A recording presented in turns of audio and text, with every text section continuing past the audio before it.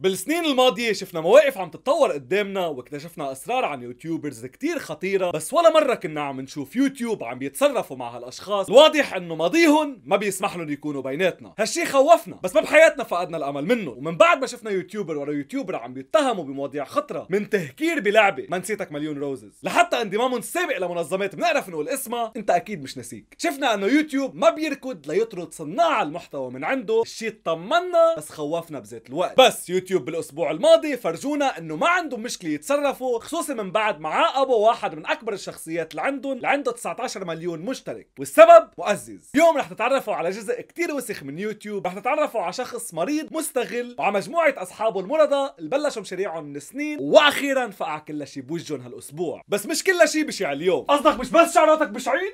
شعراتي حلوين. مش كل شيء بشع اليوم. لأنه في عندي خبرية حلوة لكم وفي فرصة تربحوا 400 دولار وتصيروا شقفة من هال channel رح خبر عنها بآخر الفيديو. ناجلها شوي لأنه في مواضيع أهم نطرحها. هلا جميعا معكم دراد واليوم عنا دراما.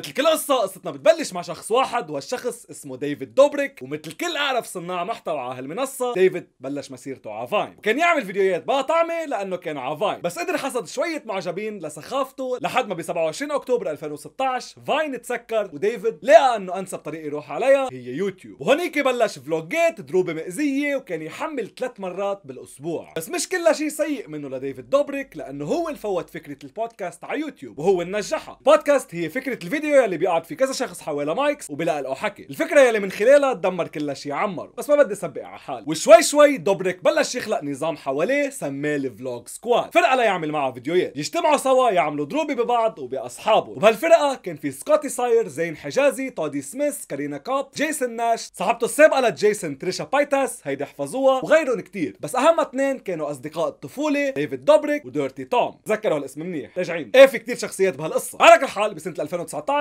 الوضع بيتغير عن دوبريك من وراء الوباء العالمي وبطل قادر يصور فلوجات مع أصحابه لأنه في حجر عام وين ما كان. فبلش يغير محتواه ليصير محتوى تبرع وصار يستعمل شهرته ليكمل عليها. شخص مشهور بيعمل شي مجنون هالشي بضج وهيدي كانت لعبته. وما كان عم يتعرض لحدا أو يأذي حدا كل هالفترة. بالعكس كان عم بيساعد العالم. فبهالسنة العالم نسيت فلوجاته وصارت تعرفه كالشخص المشهور المهضوم الحبوب يلي بيتبرع بمصاري كتير للعالم واجمالا ما حدا عنده مشكلة معه. ولسوء حظ تريشا بهالفترة كانت تركت هي وجيسون ناش وحست حالها قادرة تطلع تحكي قصتها للعالم كيف كانوا يسيئوا معاملتها وتطلب منهم ما يحطوا قصص بالفيديوهات وهن يحطوها ويتطفلوا على علاقتها مع صاحبها جيسون كله باسم المحتوى. بس بهالوقت العالم كانت نسيت ديفيد ال vlogger وكانوا بس صاروا يعرفوا ديفيد يلي ادمي ومهضوم وحبوب فالعالم هيلت عليها بالديسلايكات وما خلوها تبين. غيرها كمان طلع يصرح على اللي كان عم بيصير وواحد منهم اسمه سيث. سيث هو شاب أمريكاني طالع من كومبتون أسوأ منطقة بأمريكا وعم بيجرب يعمل حياة له جديد. ولحسن حظه تبناه دوبريك بال vlog squad لأنه شاف إنه قيمه من المحتوى اللي فيه يطلعوا منه؟ طلع منه محتوى كتير أغلبيته كانت عنصرية. بس فيديو واحد كان أغرب من غيره بكتير. شوفوا سيث كان مغروم بكورينا فركبوا له ضرب بفكر حاله في عم ببوس كورينا هي ولابسة mask. ومن بعد 45 ثانية تبويس مع لسان هو والشخص اللي لابس mask بيطلع لقدامه ليشوف إنه كورينا واقفة بوجهه ومش هي اللي عم ببوسها. البنت اللي عم ببوسها كانت جيسون ناش. وإذا طالع من كومبتون عم بتبوس شباب كون أكيد إنه ما حدا رح يرحمك بالمنطقة لأنه ما عندهم أي تحمل للعلاقات المثلية. هيديك المناطق. عكس المناطق البقية بأمريكا مطرح ما الموضوع مقبول اجتماعيا. هيدا موضوع ما انغفل عنه ديفيد لأنه كان عم يتباهى بهالقصة قدام العالم ببودكاست ويقول إنه أكيد خربت له بيته للزلمة بس كان أحلى content عامله بحياتي. كله باسم ال content ومثل العادة ديفيد ما اندقر من الموضوع لأنه ديفيد المحبوب الكل العالم بتعرفه وبتحبه مهضوم كتير كانوا يقولوا إنه ضرب تخطوا الموضوع. بس الزلمة اللي أكل الضرب كان رافض إنه يطلع الفيديو اونلاين أو يضله اونلاين وإجا عرض عليه ديفيد 200 دولار تعويض ليضله الفيديو أونلاين. ديفيد بيجيب 5 مليون view على الفيديو. بيعمل أكثر بكثير من 200 دولار بالفيديو. ما فيني يسيب الرقم مزبوط بس مش تحت ال 5000 دولار. فالتعويض كان سخيف. والزلمة ما فرقانة معه المصاري فرقانة معه صيته. بس ديفيد ما فرقانة معه شيء واللي بيحبوه كمان ما فرقانة معهم شيء فقطعت القصة وضلت نقطة سوداء على سجله لسيث. كمان بهالوقت بنات طلعوا يحكوا عن أعز صديق عنده لديفيد يلي اسمه ديرتي دوم ويقولوا عنه إنه كان عم يتصرف معهم تصرفات غير لايقة. فيني أقول حرفيا شو عمل لأنه يوتيوب حساس. بس أكيد فيكم تفهموا شو هن التصرفات ديرتي دوم طلع ونكر هالموضوع وديفيد اجى ليدافع عنه كمان. بال 2020 تريشا عن جديد طلعت لتحكي عن شو كان عم بيصير معها وكيف كانوا عم بيتصرفوا معها هالمجموعة بطريقة غير لايقة ابدا وغير أخلاقية ولا فيها جنس المبدأ أو المنطق. بس كمان العالم ما سمعت مع إنه ما هلكوها هالمرة بال dislikes قد قبل بلش يتقبلوا شوي الموضوع. يمكن ديفيد منه كتير نظيف مثل ما عم يجرب يفرجي حاله ولسوء حظ كل هالشباب والبنات طلعوا حقهم كان راح يضيع. بس تريشا ما استسلمت كملت مشوارها على يوتيوب وعملت برنامج هي و H3H3 اسمه فرينميز يلي هو بودكاست. بلشتوا تشوفوا وين رايحة القصة؟ هالبودكاست بينشهر كتير من وراء اسلوبهم الغريب المتناقض ومتناسق بذات الوقت. هي عجقة وكلها ألوان و H3H3 معتم مثل المستقبلي وبهالبودكاست وأخيرا صار في شخصية موثوقة من شبيبة اليوتيوب يلي هي شاب أمريكاني مع ليسيد بشع وبودكاستاته بتلفت النظر. وحديثه منطقي فالشاب قرر إنه يفتح المواضيع اللي كانت هي طرحتهم لفعلا يفهم شو كان عم بيصير معه. وهون بلشوا يبينوا الوقايع وبلشت الحقيقة تنفضح للعلن والجو العام بلش يقلب على ديفيد. وأحد المشاهدين لهالبودكاست كانت صحفية لمجلة انسايدر بس صحفية بلشت تحقيقات لحد ما قدرت تواصلت مع بنات كانوا عاملين معهم فيديوهات لديفيد وأصحابه بال 2018 واللي اتضح مع أدلة من هالتحريات انه صاحبه العزيز لديفيد ديرتي دوم كان كتير dirty كتير dirty كان يتصرف تصرفات مش مقبولة ابدا مع بنات غابيه عن الوعي. يشرب بنات كحول ويغبيهم عن الوعي ويتصرف معهم هالتصرفات. إن شاء الله تكونوا فهمتوا ما راح فيني أحكي دغري يوتيوب حساس. والأدلة اللي طرحتها هالبنت ما كانوا بينفوا ابدا. فشو قرر يعمل ديفيد بوجه هيك فضيحة. ديفيد قرر يشكر ال Patreon تبعه بكل الطبقات. ال gold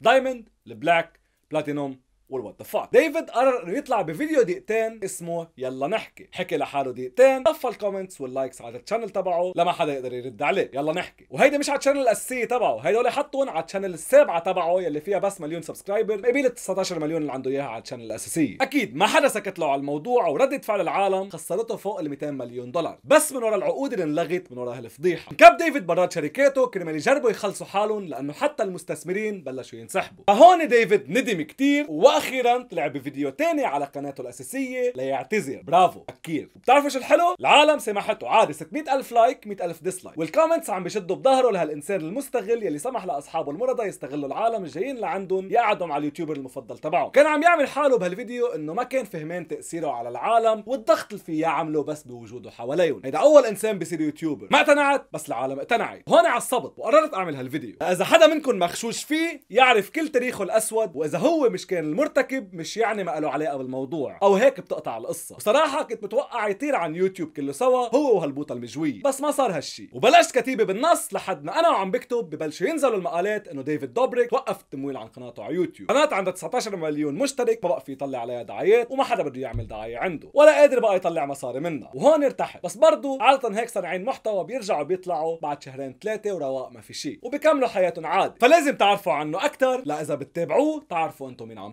تحضر هلا شو صار بمرتكب الجريمة الكبيرة Durte Dom Durte Dom طلع على ال channel تبعه ليحكي عن الدراما اللي عم تعملها العالم. على أساس هو ما ارتكب جريمة. كان عم يجرب يوطي من قيمة الموضوع ويقول إنه هالقصة بلا طعمة. هو وحاطط ثلاث دعايات على هالفيديو. ثلاث دعايات على فيديو عم يحكي فيه مع العالم ليبرر موقفه يلي كتير صعب يتبرر. بس لتفهموا الوطاول هالإنسان موجود فيها. بس أكيد كمان يوتيوب وقفوا له التمويل على قناته وعلى قناة كل واحد له علاقه فيهم والدنيا صارت بألف خير. مش ألف خير كم خير؟ بتصير ألف خير لما هيك عالم تلاقي حالها بالحبس لأنه مش معقول هيك خبرية تقطع بس درات ما قلت إنه كانوا عم بيشربوا؟ إيه ليش لازم نلوم ونقول منه ما له؟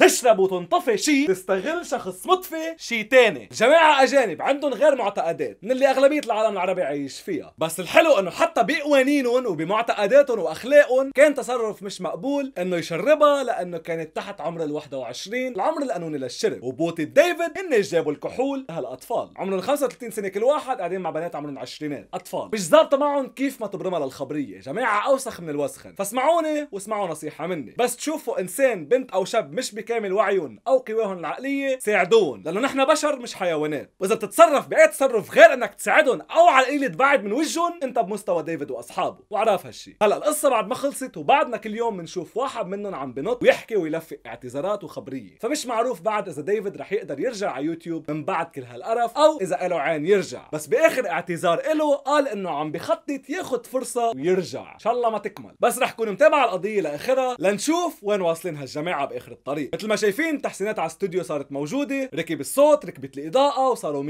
الاثنين. وهالشيء ما بيكمل بلا خلفية جديدة. ومثل كل مرة بدنا خلفية جديدة بدل ما أدفع ل graphic designer ما بيفهم بال channel ليعمل لي الشغل وحط شغل حدا غيركم وراي. بترك الموضوع عليكم وبنعمل مسابقة صغيرة. نتسلى كلنا سوا وبرد شوي للمجتمع يلي عملني. وأكيد مع نمو ال channel الجائزة المالية للفايز رح تنمى. وكل اللي عليكم تعملوا لتشاركوا هو إنكم تخلقوا خلفية جديدة لل channel و intro جديدة لل channel وهول إنتروياتي عم يقطعوا قدامكم لتاخذوا فكرة عن أي برامج بعمل. في قصص كثير زمان مش عاملها يمكن ما بتعرفون وأكيد الخلفية بدها تكون بيتغير لونها حسب نوع الحلقة اللي عم بعملها. أحمر دراما أزرق قصة أصفر أخبار مثل ألوان اللوجويات. وأكيد بدها تكون مرتبة وحلوة وتلبق مع ال channel وتبعتوا لي إياها على ديسكورد على الفقرة المخصصة لهالتحدي. وبأول أيام رمضان رح أعلن عن الفايز بالتحدي ونبلش رمضان بخلفية جديدة. وأكيد الفايز بياخذ 400 دولار كيف ما بده ياخذها كاش دولار Steam Apple Android كل شيء إلا PayPal لأنه ما بيمشي PayPal بلبنان. فخبروا أصحابكم عن هالتحدي بركي حدا منكم بيربحها وإن شاء الله بآخر هالأسبوعين نكون خلصنا هالنقلة الجديدة بهال channel لنكمل سوا بهالطريقه الحلوة اللي صار لنا سنين ماشيين فيها ورح نمشي فيها إن شاء الله بعد سنين لقدام. هاي حاكي معكم درات شاركوا بس تحية